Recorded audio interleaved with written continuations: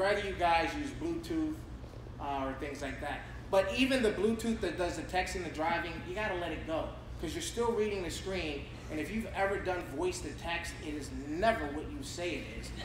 So the wrong thing is coming out. And then it's even worse because you're looking at the phone to make sure that this stupid mechanical thing has given out the right message. And you're like, damn, that's not what I said.